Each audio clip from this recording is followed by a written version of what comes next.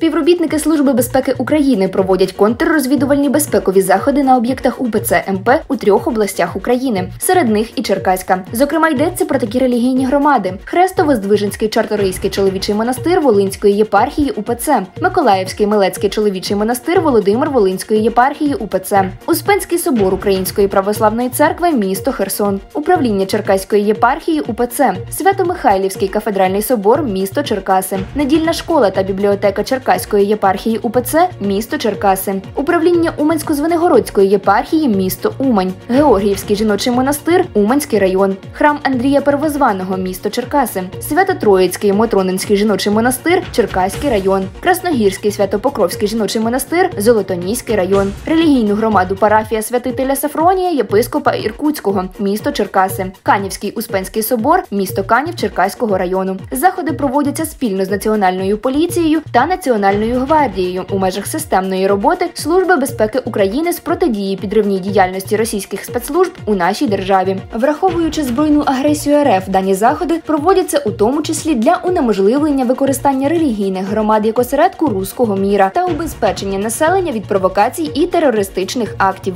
За безпосередньої участі представників церкви правоохоронці проводять огляд території та приміщень, у тому числі готельного типу, для виявлення осіб, які можливо причетні до протиправної діяльності на шкоду державному суверенітету України та предметів, заборонених до обігу. Усі дії відбуваються в межах чинного законодавства. Працівники служби безпеки наголошують, у своїй діяльності вони діють виключно в межах Конституції України та діючого законодавства, а також з повагою ставляться до прав кожного громадянина на свободу вибору, віросповідання і світогляду.